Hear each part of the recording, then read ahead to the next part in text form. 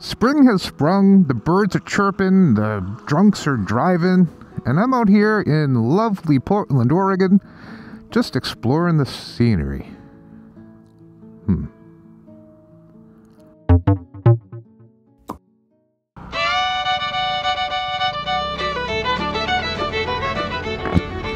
Hey, this is Bug, and if you live in the northern hemisphere, the best hemisphere if you ask me, no one no one did. Then riding season is upon us, my friends. If you haven't dusted off the old scooter yet and taken her out for a ride, now's the time. At least it is in lovely Portland, Oregon, where spring has arrived and the weather is guaranteed to be beautiful for at least the next 45 minutes. Then all hell's gonna break loose. If it's been a long, hard winter for you like it has been for me, you might have forgotten a thing or two about riding. So I'm here to give you some nice, friendly reminders. The first thing I want to remind you is drivers still suck. I was driving down the road the other day, and no shit, there was a woman going past me playing a harmonica.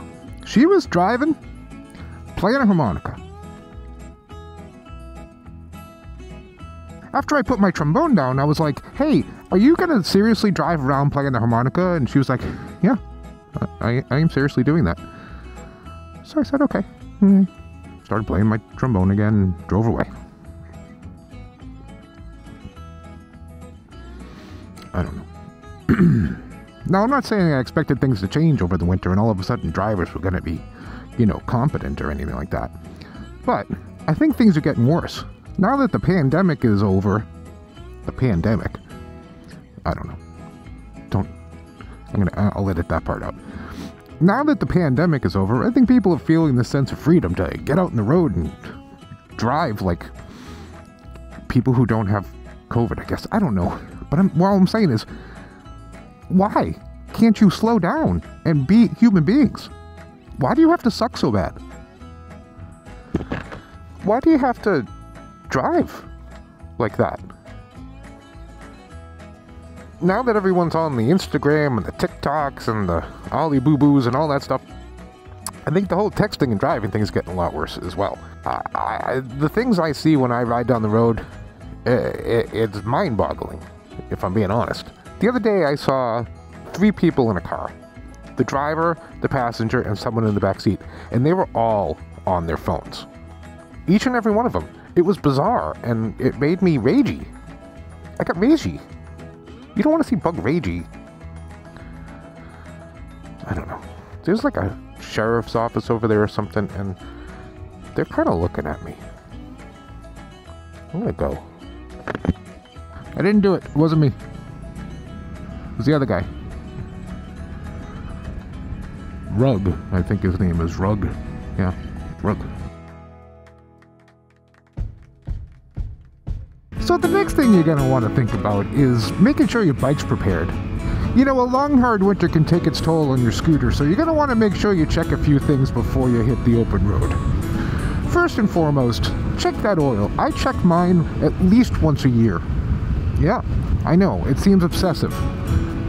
But I want to keep this baby in tip-top shape, so when I have to recycle it, the next thing you're going to want to do is check your battery. How do you check your battery, you say? I have no fucking idea. But, you know, my thing has a thing on the thing that says your battery is dead because you ran it out 16 times because you keep leaving the friggin' ignition on, so it's time to get a new battery. Your mileage may vary. I don't know if you have that same system. I, I, I guess I'm just lucky. Check your battery. I don't know. Is it starting? Do you have a battery tender that you can throw it on and give it a little trickle? Do that. You'll be fine. I don't know. You're also going to want to check your tires. Those are reasonably important items to check because they're what touch the ground, right? And keep you from, I don't know, how do you say, dying and stuff. So check those tires. Make sure they're inflated correctly. You'll find the um, proper inflation numbers somewhere. I don't know. They're, they're there somewhere. Maybe in, in your book. I don't know. You'll find it. You're also going to want to check the tread on your tires to make sure that there is tread on your tires. there's some sort of rule where you take a nickel and stick it in there, and if John F. Kennedy's head pokes out, that joke almost went too far. Okay, your brakes. Now I know my brakes are working because every time I use them, they squeak like a stuck pig. So I've, I've got no problem with my brakes. I know that they're there. I know that they're working. How do you check your own brakes? Take it into a shop and have them look at it. I don't know. If, if when you squeeze things and you stop, you're probably in good shape.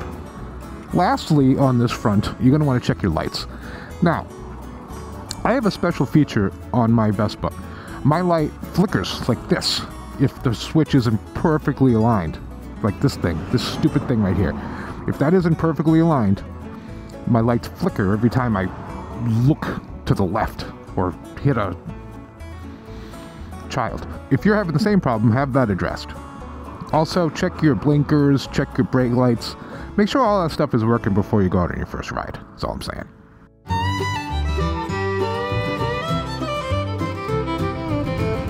I just tried to shift, so got that going for me. Now, the next thing you're going to want to think about is proper attire, dressing for success, I like to call it. Really, it comes down to do you have a jacket that's going to protect you? Do you have a helmet that isn't like 16 years old and crushed already? You got gloves. Gloves are the most important thing. Well, they're not, but they're right up there with important things. Just because the sun is out, that's that thing up there. I've seen it before. Just because the sun is out doesn't mean it's time to break out the flip flops and shorts and go for a ride. No. Don't ride in shorts and flip flops. Come on. Have some common sense, people. Put on some pants. Put on a nice jacket. Put on some gloves. And put on a good helmet. You'll be all set. You're not, you know, you're not racing MotoGP over here. You're just going down to the store to get some Bisquick. You don't have to overdo it. I mean, I'm wearing an airbag vest. So, don't take any advice from me. Just put a jacket on and some gloves and a helmet. Shoes would be nice. You know, over the long winter, your driving skills can go right down the old pooper. So now's a good time to sit back and think about all the stuff that you've learned from this channel when it comes to riding safety, like, like, um, what was that? Um, well, there was that one episode where I did the. So now's a good time to watch someone else remind you about riding safety. Remember, you're always invisible. No one can see you. Everybody's drunk and stupid. Um, that's really all you have to know. No one can see you, and everyone's drunk and stupid. Those are rules to live by, not just for riding. I take that everywhere. You ever been to the grocery store? I mean, if you want to see some drunk, stupid people, that's that's where you got to go. Safeway. My point here is, don't forget all the stuff you know about riding just because it's your first time out for the year and you want to air the thing out. Take it easy, will ya? I need every one of my subscribers. You know, if they start dropping off, then how am I going to become a big YouTube star? What, I already am? Thanks. Really appreciate that my loyal viewer.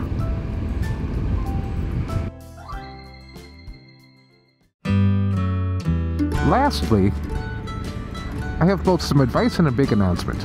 My advice is think about upping your game when it comes to getting out and meeting folks on your scooter, joining clubs, finding folks online to ride with. You know, I'm a loner and I love riding alone, but sometimes it's nice to, you know, have a little bit of company, right? So I'm part of a couple of scooter clubs here in town, and it's a blast, and these people are fantastic. There is a small problem, though, that I'm trying to address. Go ahead. The invitation's in the mail, I, I promise you. The issue that I'm having is the following. As you may or may not know, I'm not much of a drinker. I do not partake in the alcohol. I used to, um, but, um, you know, I don't anymore it's not as much of a lifestyle choice as it's like, you know, doctor saying, hey, you know, that that drinking thing, you shouldn't do that because um, your liver looks like a friggin' cheesecloth. I'm like, oh, that's probably bad, right? He's like, yeah, that's not awesome. He's like, yeah, I've never seen it. Uh, or whatever. That's a whole different story. Anyway, my point there is, I don't drink. I don't have anything against drinking at all. I really don't. But a lot of scooter activity revolves around drinking. Rides tend to start at a bar, they end at a bar, and you know, there are some rides that just go from bar to bar to bar to bar. If that's what you're into, I say go for it. I have no, problem with your lifestyle choices. All I'm saying is, it gets a little old after a while for someone who doesn't drink, right? And I'm kind of thinking, okay, I can't be the only one out there who just kind of gets bored with the whole drinking scene and just wants to do something different, right? I don't know, maybe maybe I am the only one. And at the same time, I love bars and I love my non-alcoholic brews. I sure do. I'm a Budweiser 0.0 fan. There ever was one. I don't know. Has there ever been one? Probably not. I'm just gonna go. Because I don't know. So I'm starting a new club. It's gonna be called the Dry Runners. Yeah, it's clever, right?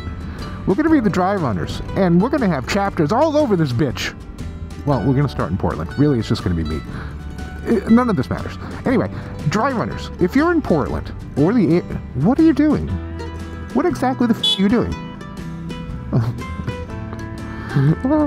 if you're in Portland and you want to join the newest, hottest club on the scene, the Dry Runners, you just let me know. You can you can leave a comment. You can send me a DM. You can find my email down in the basement down there.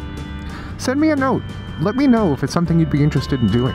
Again, this has nothing to do at all with not liking other clubs or anything like that. I, I love the other clubs. As a matter of fact, I should be at one right now. I missed it. Yeah.